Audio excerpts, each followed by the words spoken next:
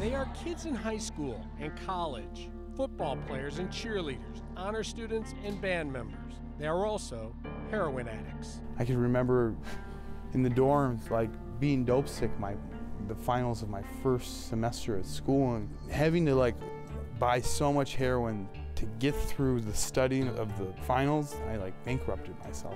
William Transit started like many kids do, with a sports injury in high school. I had a football injury and, and um, the doctor prescribed Vicodin.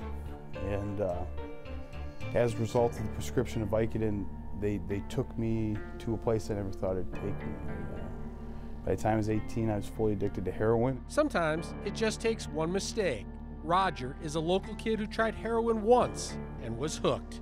Nobody's stronger than that drug.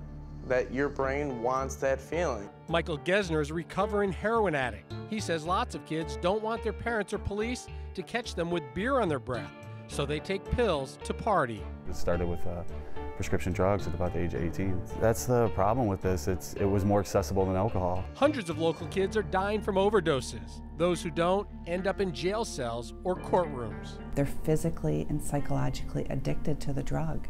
Unless they recover, they have to steal in order to support their habit. They don't care about hurting their families or friends. They don't care if they fail out of school. Their body wants heroin, and they are helpless.